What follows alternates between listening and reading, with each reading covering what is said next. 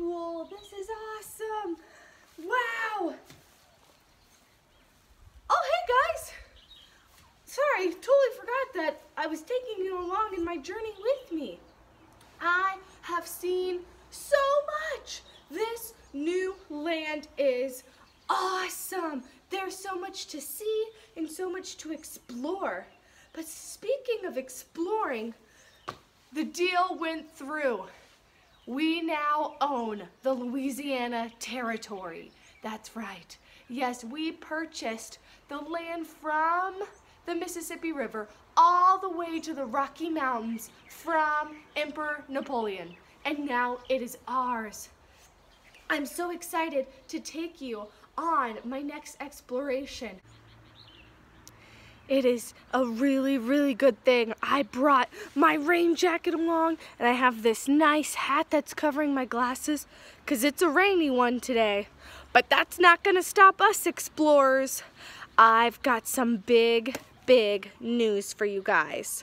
So since Thomas Jefferson purchased the Louisiana Territory, he wants a group of explorers to go out and explore the land, to be the first Americans we send out to go and see what's out there.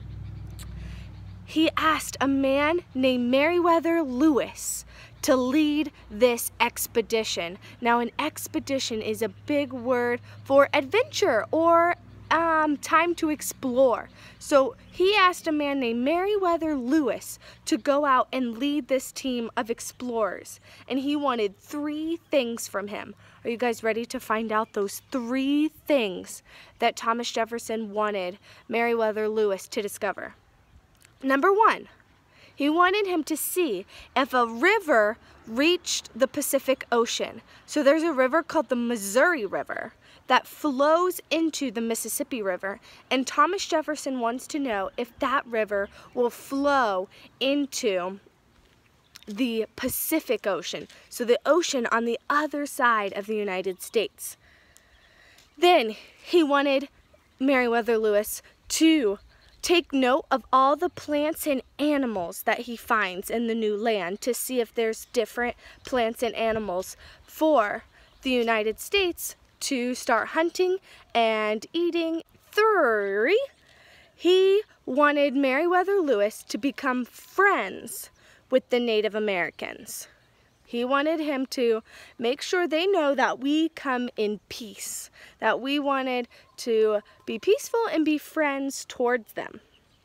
So Meriwether Lewis asked his friend William Clark to be his partner in this expedition because he knew William Clark was great at putting maps together and reading maps. So the two of them just traveled to St. Louis where the Missouri River flows into the Mississippi River. And they are going to put together a team of people to go on their expedition. Now because of my awesome exploration skills, they asked us to come with them. So we are going to get to explore the new land with Lewis and Clark. Are you guys just the most excited? Because I know I am. I have been going through the land, seeing what people will let me borrow. I got this hat, these binoculars, I got my walking stick, that I had to set down so I could hold my maps and the video blog, but I've got it for when we start going on our expedition. All right, they've just asked me to help them to start preparing boats with supplies because we are traveling by river. So we need to make sure our boats are ready to go and that they're full of supplies that will help us live. So I've got to find food and water and things to use for shelter, especially on days like today where it's raining. But on May 14th, 1804, we are set to take sail or to start traveling down the Missouri River. So May 14th is a big, big day in our expedition. But it's you guys' turn to work with me and help me find materials to use on our boats. I want you guys to test out different materials and see which materials float in water and will last a trip down the Missouri River.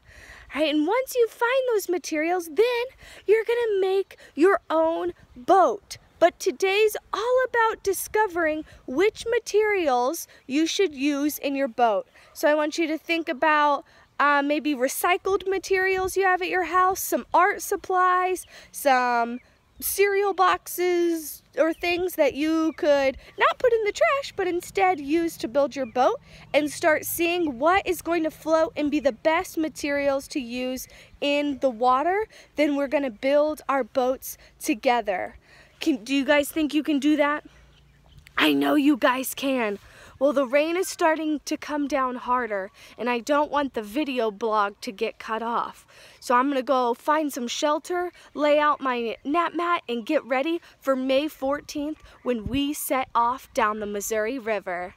Thanks so much, guys, for being a part of this journey. I'll see you guys soon. Bye!